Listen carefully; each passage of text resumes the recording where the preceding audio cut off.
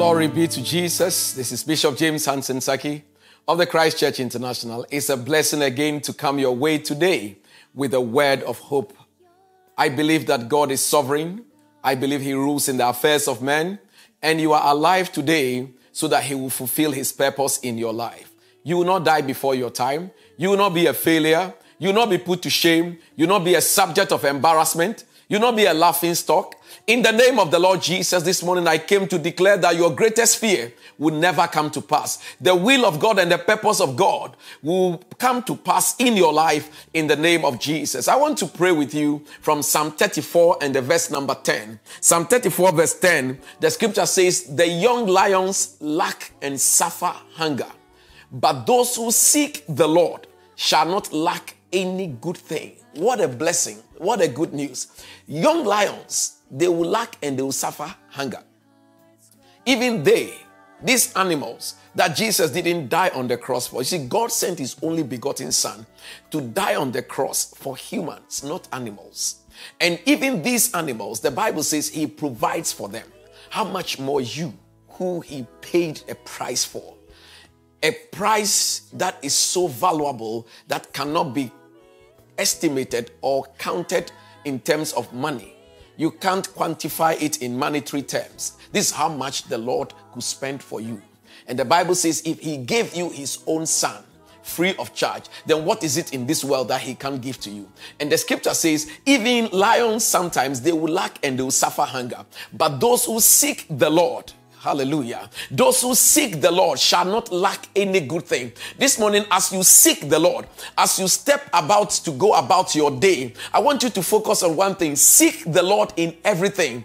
That means that desperately go to the Lord and ask Him to give you direction, to ask Him to give you what you need. He is a God who provides, He protects, He, he makes sure that it will be well with you. The Bible says you will not lack any good thing. The Bible says that it's a good thing. He that finds a wife finds a good thing. So a wife is a good thing. A good job is a good thing. A good home is a good thing. A good health is a good thing. A good finances, good finances are good things. These are all good things. They are not evil things. They are good things that God created for his people to enjoy. Those who are saved, you too, you qualify for this. These things are not for unbelievers. How could this great God create all this beautiful world, all the wealth in the world, and only unbelievers must enjoy it, and believers must just stay in their small corner and live in, in poverty and call it holiness? It doesn't line up with the general you know, body of scripture. The Bible says when you seek the Lord, you will lack no good thing. I don't know what it is that you are looking for, but this morning I came to pray to you, for you in the name of the Lord Jesus, that God will hear you. Every good thing you stand in need of, may the Lord provide in the name of Jesus. The child that you need in the marriage, those who are married and hearing the sound of my voice that need children in their marriage. In the name of Jesus, the Bible says children are a good thing. They are a gift from God. I pray the Lord open that womb. The Lord release that loin. The Lord release whatever it takes in the name of Jesus to have to make you have your own children. I pray for marriages for those whose marriages have been delayed. In the name of Jesus, every frustration that has caused delayed marriage, I pray that as you seek the Lord this day, may God open the door. May God position a man after his own heart for you, my sisters. The Lord position a woman after his own heart for you. In the name of Jesus, I break every family cycle and curse of delayed marriages in the name of Jesus Christ.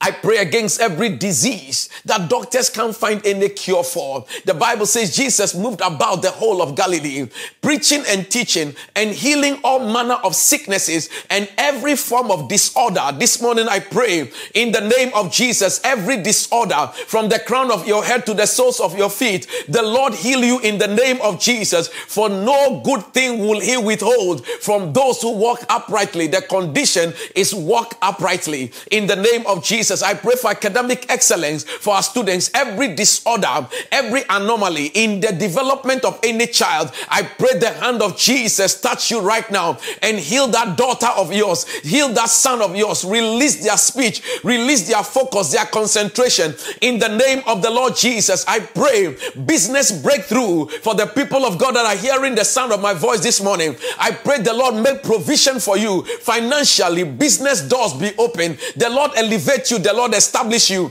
the Lord open doors in the name of Jesus for that new job. Immigration doors be open, immigration favors, legal situations that you are dealing with. May God go ahead of you and open a door and settle that case for you in the name of the Lord Jesus. I pray this morning that whatever you stand in need of, every good thing that must come to you this morning, I pray the gates be opened. I pray the heavens be opened. I pray the land be opened.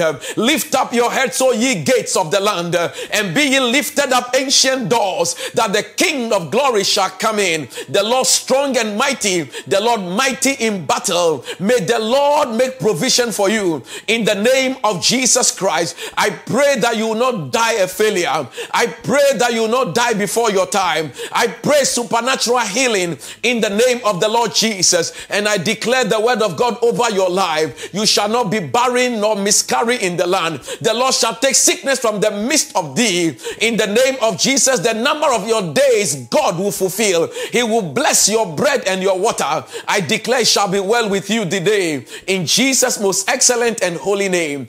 Amen and amen. Have a blessed and fruitful day. Bye bye.